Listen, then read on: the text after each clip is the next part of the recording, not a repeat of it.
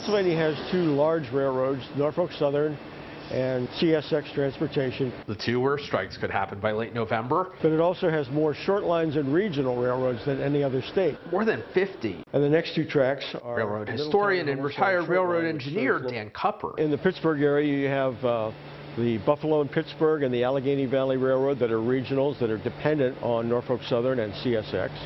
In the Philadelphia area, you have railroads like the Pennsylvania Northeastern and SMS lines in New Jersey. And near Harrisburg, where we met Cupper, This is a car that is moving between Norfolk Southern and the short line, uh, the Middletown and Hummelstown. Now, compared to CSX or to Norfolk Southern, the short lines are small businesses.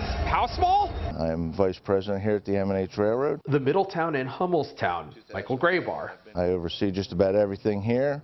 Um, the mechanic, uh, fabricator, welder. Mechanic, fabricator, welder, all singular. Well, yeah, that'd be me. One or two full-time employees. No union here. Still, Norfolk Southerners, who we mainly deal with, they have to cross Amtrak to get to us, and then we bring cars in for our customers down the road. Yes, unfortunately, if they shut down, then we're going to be in trouble. still a big if. Workers might ratify the tentative agreement with a big impact either way for the workers, the big railroads, the little ones, and the rest of us. FedEx, UPS uh, shipments, many of them come a long distance by rail before they get to the UPS truck. If you watch the intermodal trains that go by, you'll see containers that say FedEx or UPS. In Harrisburg, Seth Kaplan, CBS 3 Eyewitness News.